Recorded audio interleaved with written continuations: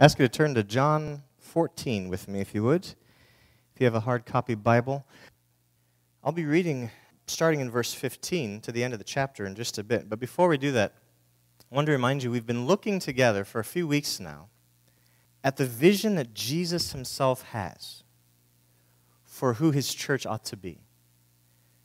And we had to start with an agreement. We want what Jesus wants. Amen? Because he's in charge.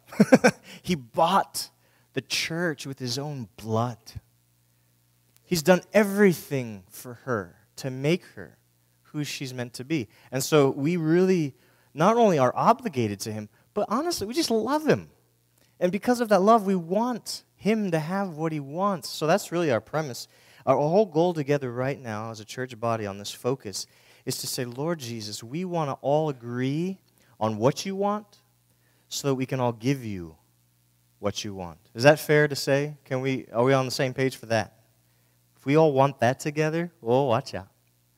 Because remember, the reason that Jesus wants his church to be a certain way is because that church vision he has that we'll be looking at for a while, it is the exact representation of who he is.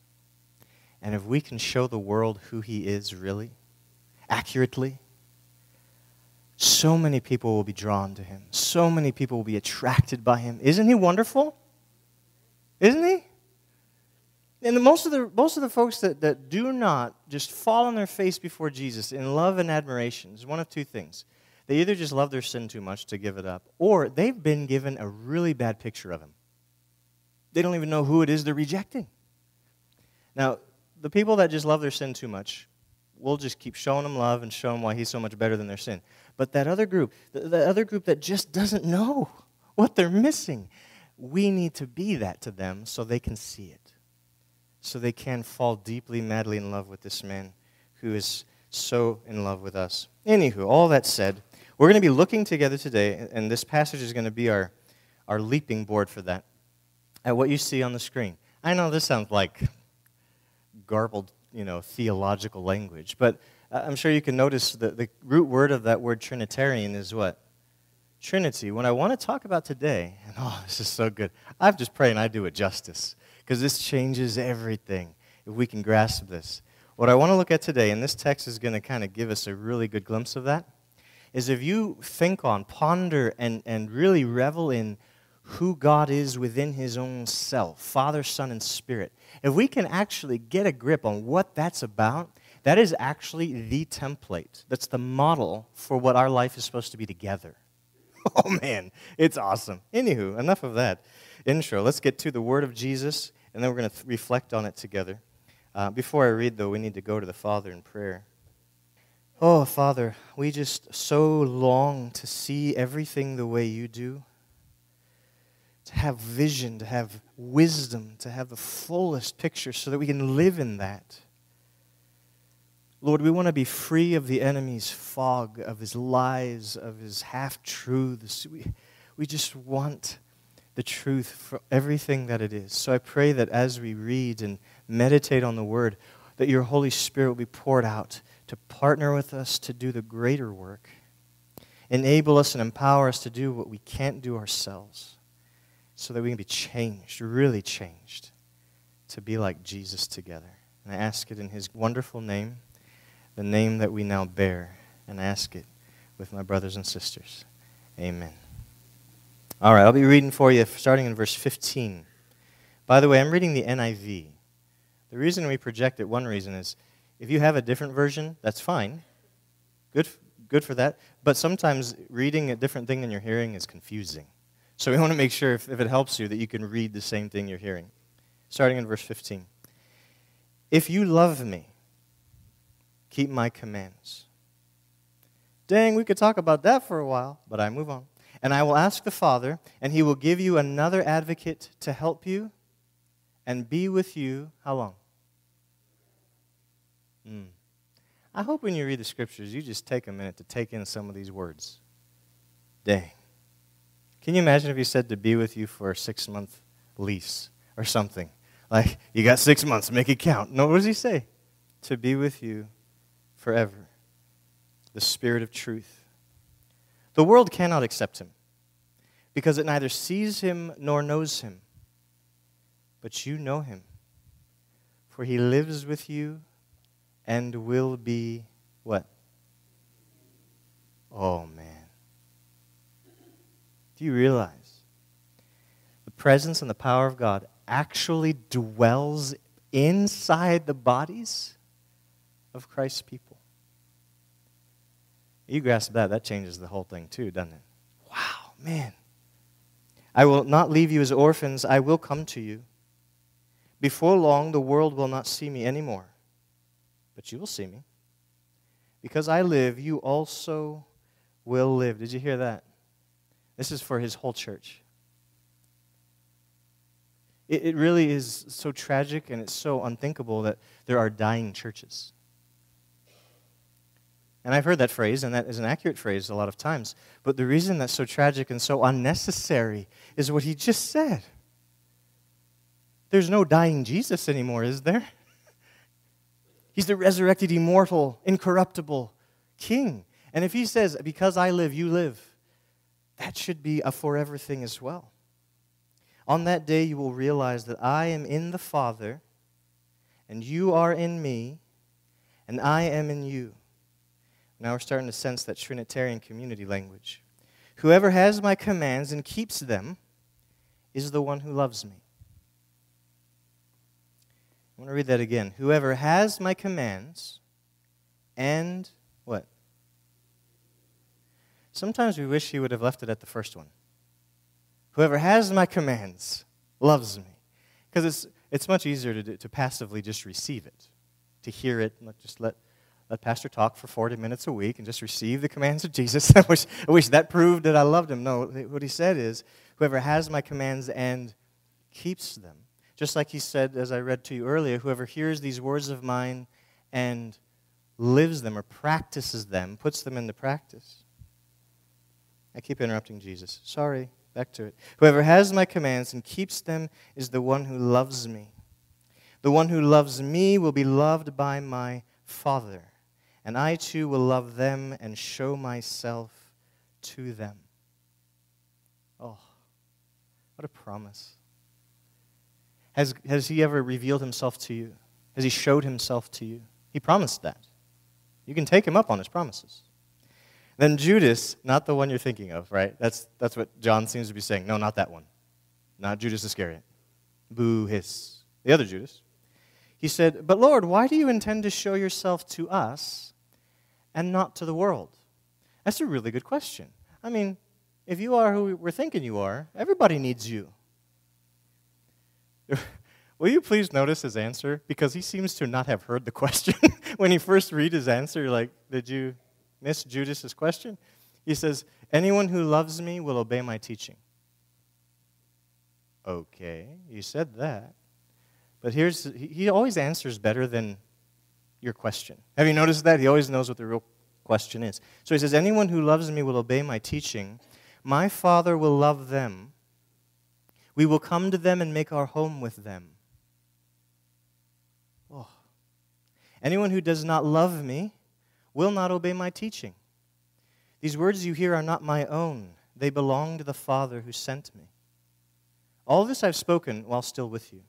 But the advocate, the Holy Spirit, whom the Father will send in my name, will teach you all things and will remind you of everything I have said to you. Peace I leave with you, my peace I give you. I do not give as the world gives. Oh, listen to this. Don't let your hearts be troubled. Do not be afraid. Now remember, he's saying this right before Jesus is arrested, right before they lose their master, right before they watch him die, and he's still telling them, "Now don't you be afraid. Don't you don't you be troubled. You heard me say, I'm going away and I'm coming back to you. If you loved me, he keeps talking about that. It must really matter to him. If you loved me, you would be glad that I am going to the Father. Listen to this. This is a shocker for some folks. Listen to what Jesus said. Why should they be glad he's going back to the Father? For the Father is greater than I? Huh. Talking about the Trinity, that's an interesting statement. I have told you now before it happens, so that when it does happen, you will believe. I will, say, I will not say much more to you, for the prince of this world is coming. He has no hold over me. Who's the prince of this world, by the way? Satan. And he's coming through Judas, the betrayer. He has no hold over me, but he comes so that the world may. Oh, I think he's finally answering the question. Remember the question? It's easy to forget the question because it seems like he ignored it, but here's, here's where he's answering the question. He comes so that the world may learn that I love the Father and do exactly what my Father has commanded me. Come now, let us leave. Did you notice that when Jesus began that section, I, I, we jumped right in the middle of something he was saying, but right the, at the beginning of that section, Jesus said, Here's the litmus test for if you love me. And what did he say? How, do you, how can you demonstrate or show that you love Jesus? He said, if you obey my commands. Notice what he says about himself at the end. He said, I'm proving I love my Father by obeying his commands. Now, all the way through that section, it's obviously not a section on the Trinity, but all the way through that section, did you see the interplay between the Father God, Jesus his Son, and the Holy Spirit, the advocate? Do you see how he speaks of them seamlessly as if they're all doing separate things, playing separate functions. In fact, he goes so far as to say the Father's greater than I am, which for people who believe in the Trinity, that's kind of a weird thought. I Thought they're all equal, I thought they're all the same. Now, today, I'm not going to try to unravel the mysteries of the Trinity for you. It is to laugh that I would, you know, get all that settled here. Actually, that's not even my point. My point is this as we talk about what it means to be the church, what I want to understand together is that if we can begin, even begin to grasp who Father, Son, and Spirit were, have been, are, and always will be together in community with each other, we will actually be halfway there when it comes to understanding everything the scriptures say about who we're meant to be together. So let me start here. When I first got here, this was a year and a half ago already, what? We began in the book of Genesis, chapter 1. We began talking about the, the vision God had when He created everything. And remember, one of the things He had in mind for His creation, particularly humans, but all of His creation, was that it be a creation of community. Do you remember that? And in fact, when, he, when He saw Adam, little old Adam, that he created himself, fashioned out of dirt, and he, he breathed his life into him. God's Spirit brought life into this being, and he became a living being. And he had Adam down there, and there was no suitable helper, is the language.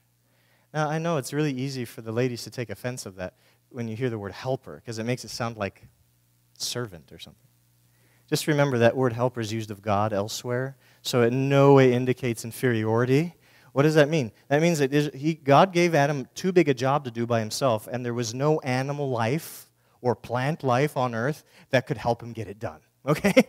And so you don't, you don't have a suitable partner in the work I want you to do. So do you remember the first thing God does? He brings all the animals by Adam. Do you remember this detail? This is wild. Adam, who's been given lordship over the earth, as God's kind of viceroy, he, he has all the land animals go by, all the birds go by, and Adam has the privilege, the authority to name them. That's pretty big. That's pretty good. It'll be a long day. Do you remember at the end of that process, what did God say? No, no, no. no suitable helper. Nothing. Just, I mean, monkeys are great. Chimpanzees are cool, but they just, they're not going to do it. Dogs, fantastic. Not good enough. So remember, he puts Adam out anesthesia. He takes a piece of his side, weird, and creates a person out of it. And it's a different kind of person, remember? Different kind of person. Human, human just like Adam, but not just like Adam. Different. Creates a woman. And then, what's the, one of the first things he says to these two human beings? His first command to them is what? Be fruitful and multiply. And He's talking about family. Family is the first and original community.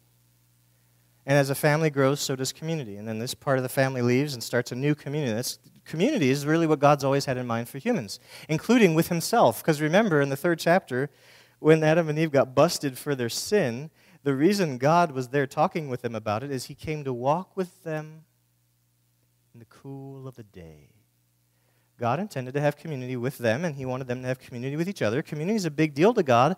And it, one, reason that's so important to realize is God had community before He even created these pe- people. He didn't create them because He's lonely. And He also created angels. Did you know that? They have wills of their own, they have minds of their own, and they have volitional beings. And He wants them in His community too. And what I want to begin with is this listen. If you don't understand, the graciousness of God did not begin at the cross. The graciousness of God began when He decided to create beings to open up His community to them. Because Father, Son, and Spirit, let me tell you, if, if anyone can satisfy anyone, the Father can satisfy the Son, the Son can satisfy the Spirit, they can all satisfy each other. Yet something in the heart of God wasn't content. He wanted to open up this community, this unbelievably good and satisfying community of mutual love, mutual uh, admiration, and honor. And he said, we, we need to, to let other people in on this. It's too good to keep to ourselves. So, what he does is he creates angels and he creates humans. And he says, Come on in. Open up the gates of community and let them in. Let them take part in this unbelievably good sharing together. Now, the, the story would have been really awesome if, if the humans would have just accepted that, and if all the angels had just accepted that. Oh. When we get to chapter 3, I want to punch something because we lost it. It was there, we had it. Is the fruit really worth that? And it wasn't the fruit, was it? It was what the fruit offered. You'll know things pride, selfishness, blah, blah, blah. That always destroys community. And bammo, did it destroy it real quick there. Now, here's the thing God, and we already know this stuff, so I'm just going to quickly say this, but God was not content to watch this offer of community just to be shattered and be done. He didn't say, ah, heck with it. I, I offered. You don't want it? Fine. Remember, these beings that he made in his own image that bear his image, his likeness, he said, no, that's not good enough. I got to get them back. They don't deserve it. That stinking serpent doesn't deserve anything. But, you know, it's not about what anyone deserves. It's about, I want them back. They need me, and I want them. If you don't understand, the grace of God goes way before the cross, way before anything else. Just the decision to have us in His universe was grace, because when He offered us a place in His universe, He offered us a place in His community. And why should we have that? Why should, why should the door of God's house, where the community of God waits to embrace me, why should that be available to me? I can't even figure out how to be in perfect relationships with my wife and kids. Why, why would he want to introduce a mess like that into his community? I don't know. He's so nice. He's so patient. He's willing to deal with my own mess, my own confusion about how to deal with folks. And he says, I will, I will deal with that in time. But for now, I want you. Your perfection, I'll work on that with you. But for now, it's you that I want, right? oh, so good. Now, we've talked about this. Humans, angels, a lot of them, they refused it. They said, We want something else. We want our own way. So we lost out on it. So then here comes Jesus. Jesus comes announcing the message repent for what? The kingdom of heavens or the kingdom of God has come near. Do you realize what that really that message really is? The message of salvation we call it, the message of eternal life. Do you realize all of that is just different words for this? Now is available to you in a new and a fresh way what I wanted for you at the beginning. I want you to enter the Trinitarian community. I want to open up the gates again that you shut. I want to open up the gates again to your life with us that you cannot have on your own. So, when you think about the Father, Son, and the Spirit living together, maybe you never have, by the way. Uh, maybe you've been taught that they're all one person, and they just have three different faces they show. That's actually not the case. And biblically, that's not really presented ever anyway. In fact, when just to give you case in point, when, when Jesus talks in this last discussion at the end of John, and it starts in chapter 14, as he talks about the Father and the Spirit, you never get the sense that he's talking about himself. Ever. That'd be weird. In fact, do you remember what he said? I have to leave so the Father can send the Spirit. How do you talk about yourself like that unless you're like schizophrenic or something? No, th- there are three beings who are our God. I know, that's the mystery of the Trinity. We'll work through that as we go. But listen, this is what I want you to know. As Father, Son, and Spirit live together and always have and always will, how do you, how do you see them interacting? A few, few examples from the story of Jesus. oh, when Jesus was in mortal flesh and blood, do you remember why he came? Why did Jesus come in mortal flesh and blood? Whose idea was that? For God so loved the world, he, now when we say the word God there, we're talking about the Father.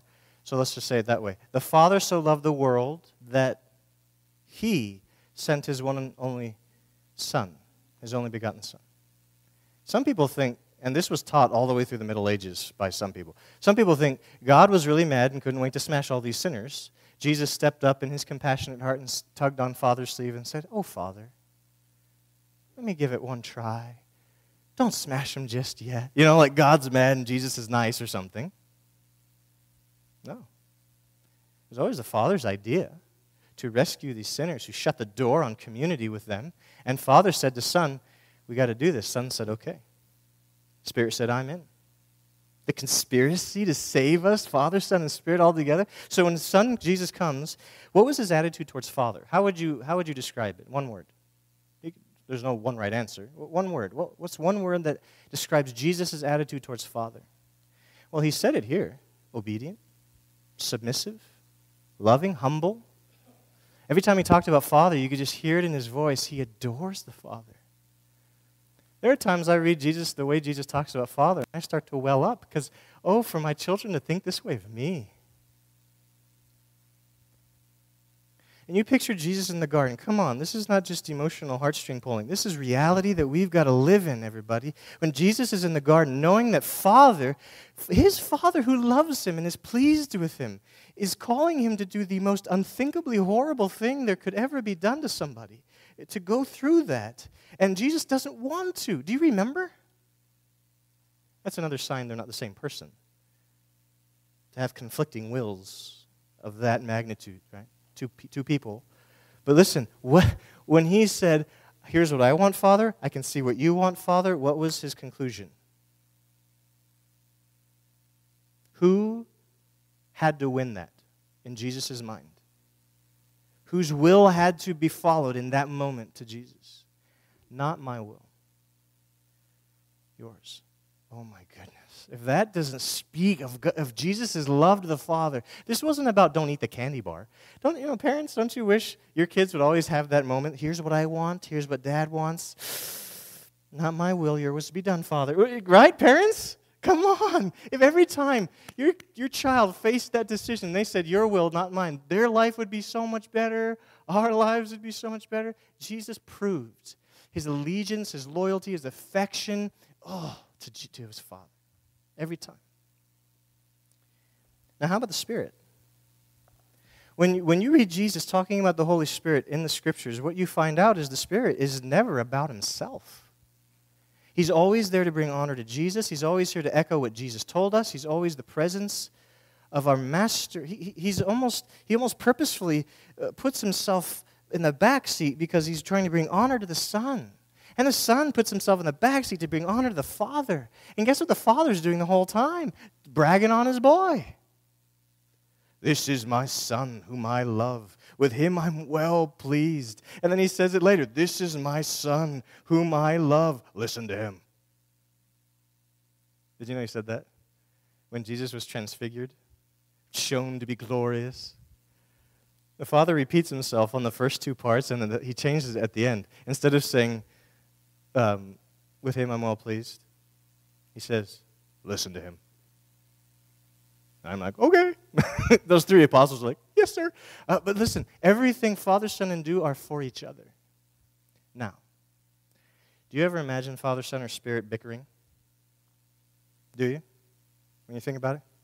If you, if you were to, and we don't have many of those, but if you were to interact a conversation between Father, Son, and Spirit, do you ever hear a nasty attitude? Slamming doors, cold shoulders, No. You say, well, they're God. Of course they don't have any of that. But here, here's the, here's the thing. Here's why this is so exciting. I'm not just trying to talk theological stuff and send you out into a world where you need more practical training. Listen, this is as practical as it gets. If you're made in God's image, it got corrupted. Jesus came and said, Here, here's the solution. I'm going to remake you to be a new humanity so you can be like me. Here's my Holy Spirit. Do you realize that now, as people who live in the Holy Spirit's power, we can actually become the image of God we are always meant to be? As frail as humans are, when filled with the Holy Spirit, what frailty can get in the way? This is why we, we never need to speak to each other in the community as if, as if strife and arguing and gossiping and bickering and cold shouldering and unforgiveness is just the way it is. It's just how people are. And we should say to each other, but not us people. That's not who we are anymore. We've been welcomed into a community where that stuff is bizarre. That stuff is ick. You would never conceive of that in the community of Father, Son, and Spirit. So, how in the world are we comfortable with it in the community that has been absorbed into them? You're, you're children of the Father. Amen? You're not excited about that? You're children of God. Amen? And you are disciples and you are one with Christ. He said that here. We're in Him, He's in us. Is this exciting to you? Jesus, master of heaven and earth? You're one with him? And the Holy Spirit actually fills your physical being and unites himself to your spirit. Do you see the oneness you have individually with God, Father, Son, and Spirit, is manifestly bigger when the community of those united to God is there. And that is exactly why everything you read in the scriptures about how to treat each other looks like how the Father, Son, and Spirit treat each other. If you ever wonder, is this fitting for the church body? Ask yourself this Would the Father, Son, or Spirit do this to each other? The answer is no. Stop it. It doesn't belong. We belong to His kingdom now. Okay, I'm got to get to some good things here because the Word of God has to speak. Okay. One of the most powerful things I ever discovered that changed the game for me, I want to ask you to turn to 2 Peter with me. 2 Peter chapter 1. Listen to what Peter says here. To all saints, because he's writing to saints in all different places. He's not just writing to one church, one place. He, and I'm starting in the middle of a thought, okay? So he's talking about God's glory and goodness. And he says, through these, God's glory and goodness, he has given us his very great and precious promises. Now, if you don't know the precious and great promises of God, please find them out. They are the source of hope and life for us. Why? So that through the precious promises of God, you may, do you see that next part? You together may participate in what? Have you ever read that or thought about that? Little o us, we're only human. We're always going to be sinners. I hear this language within the church to, talking to each other as if, I don't know, it makes us feel better or something. But we just talk about each other. We're just, we're just always sinners, going to be sinners. Oh, well, what can you do? At least Jesus died for us. I see the bumper sticker that says Christians aren't perfect, they're just forgiven. That's about all you can say about us Christians. We're just forgiven. Bigger wretch as anyone else in the world, but at least we got it covered. Do you realize if what Peter wrote is true, all of that is rubbish? Every bit of it. Not to say that if you're not perfect, I know you can easily go the other way, and if you're not perfect, you're not in the body. No, no, no, no. But listen to what he said. We get to participate in the divine, what? That means character, that means viewpoint, that means how we treat people, how we view God, all of that. We get to have a, a, share in that because God, remember, God in His divine community, Trinitarian community, He opened up the door and said, Come on, come on. you can have this. I'm going to put this in you. That's what he did when he poured the Holy Spirit in you. He gave you his, his, his own self so that you could have his nature now. Oh, now the only reason we can have a part in his divine nature is that we've escaped the corruption in the world caused by evil desires. That's, that's the part of it a lot of us really aren't convinced that we can have that. We just think that the corruption in the world is just going to be a part of us till we die. So hurry up, Jesus, come back so I can do the right thing finally. No. Right now, you get to participate in the divine nature because right now you can escape that corruption. This is the gospel, everybody. Oh, I love this. Now, in the, in the Trinitarian community, and this is like the punchline basically, three words you can always use to describe them they have a unity, they have fellowship, and they have community. Those are really similar. Let's break it down. First, though, let's read this. In John 17, Jesus said, I, he's praying to Father, I have given them, his disciples, the glory that you gave me, that they may be one. How one does he want them to be? Do you see it? How one should his disciples be? As we, the Father and Son, are one. I want them to be one as we are one. Do you ever read in the Bible something that just sounds too good to be true? Like, come on. Seems a little exaggerated. Could human beings in this world, in this flesh, ever have a unity like Father and Son have?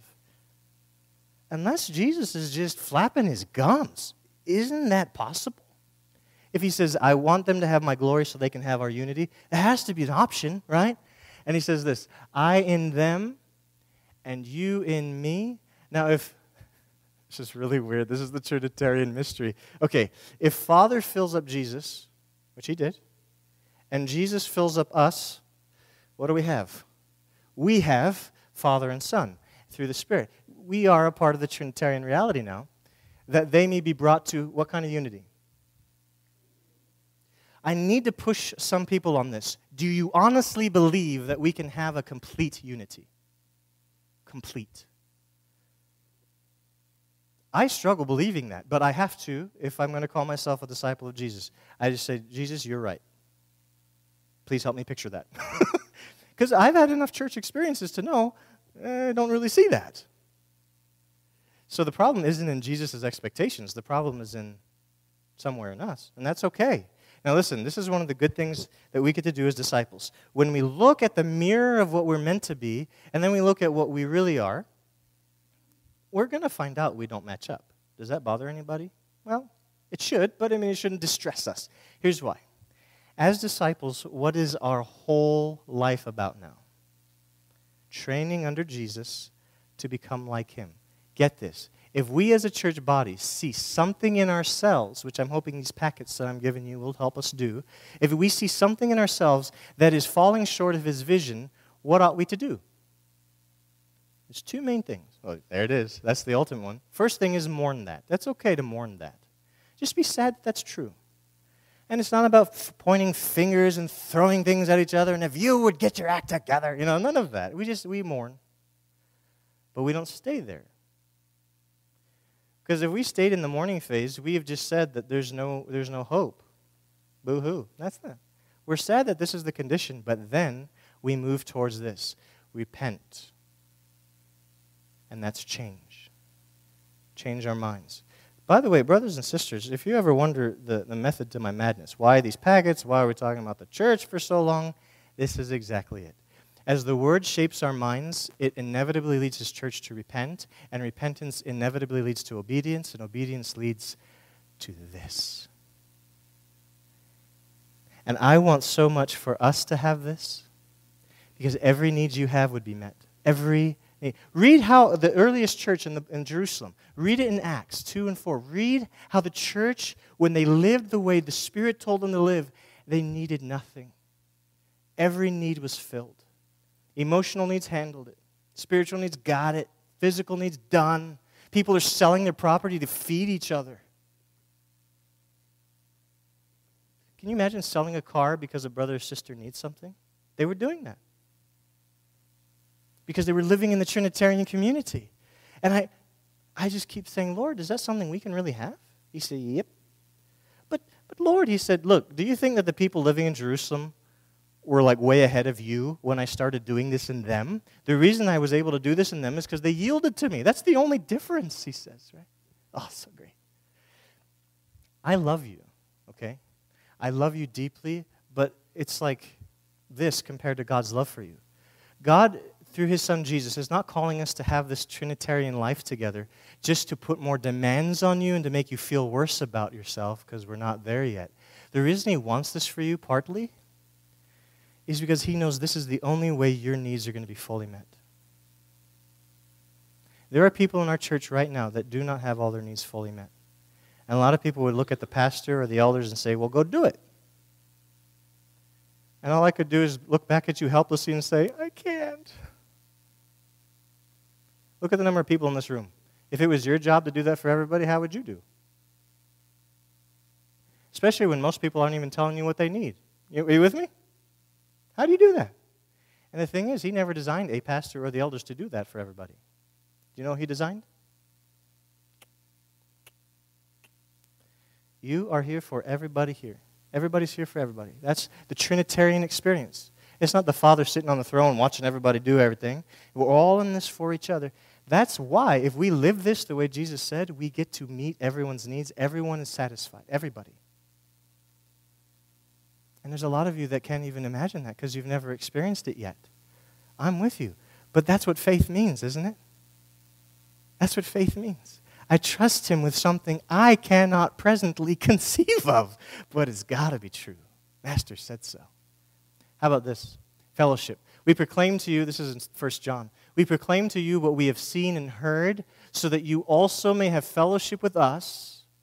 And our fellowship is with the Father and with his Son, Jesus Christ.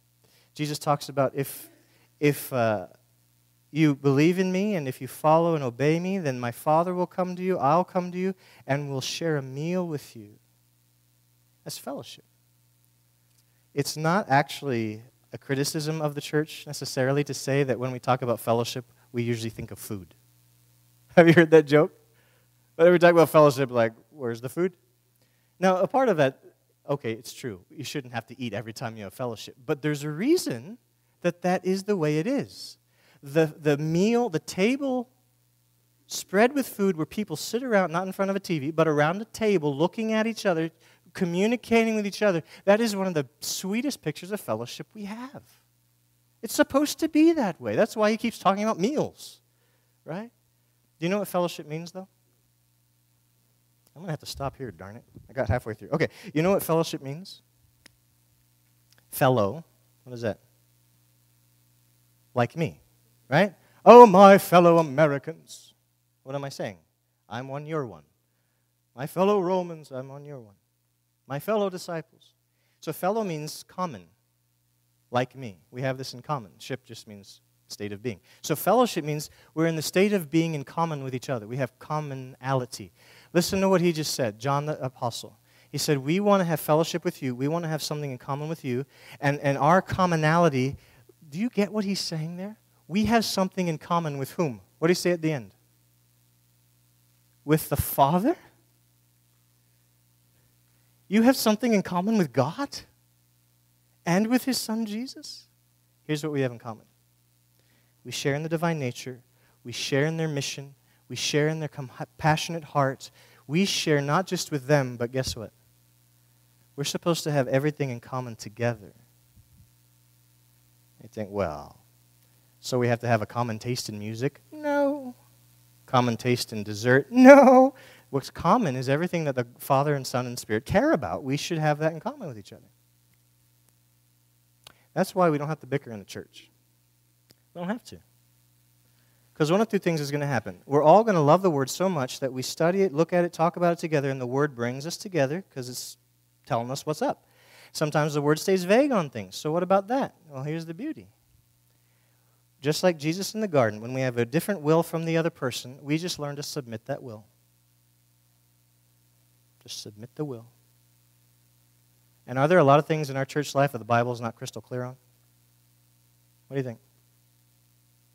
How long should the pastor preach? Well, we all got ideas on that, don't we? Especially this morning, maybe. the Bible didn't give that. If it did, some of you would call me on that. Anyway, but if the Bible's vague on something, we're going to disagree. Now what? We talk about the goals we have and say, what's the best way to get there? And then we submit. If I don't win out, that's all right. I want God's purpose to win out. That's all. See, everything that we're going to encounter as a church body, Jesus has the best way to handle it. So we can avoid all the nonsense and just stick to being one with the Father, one with the Son, one in the Spirit, one with each other. Now, last thing I'm going to say is this, because this is going to kind of hopefully get us ready for next time we talk in this setting. If you would, as you fill out our packets, as you just think on what hopefully, as you think later on what I've said today, what I want you to picture is this. What would life look like in our community? This, just this here at First Church of Christ. We can get to other communities joining us later. But just think on this. Within our own community, what would it look like? What would be the same? What would be different if we had a life together like Father, Son, and Spirit share? What would that look like? How could that work with dozens of people? With different wills and different ideas and different experiences. How does it work? Now, if you have trouble imagining it, that's okay, part of the process. But keep chipping away at it. Keep forcing your brain to imagine this person being that way with this person, this group being that way with this group. And what I can promise you is this what the Holy Spirit will do is start to give you a sense of hope that that's actually available. And as soon as you believe that God could do that in us, He's going to start. Do you believe that? Because remember what Jesus said as he healed folks all the time. What did he say? What was his natural response whenever he healed a person? Your faith has healed you. I don't oversimplify that statement, but here's a big part of that. As soon as you trust me that I can do it, watch me go. And until you trust me to do it, I won't. Ooh. If we trust him to do this in our midst so the world can see Jesus as he really is, watch him. And people will be all around be going, What is happening over there? People in the church body, What is happening in here? And we'll be like, Thank you. He's happening. Because we are his people, purchased by the blood of his Son, filled with his Holy Spirit, presence, and power, called to join him on his mission. And that is exactly why we are all, before anything in our lives, disciples of Jesus Christ.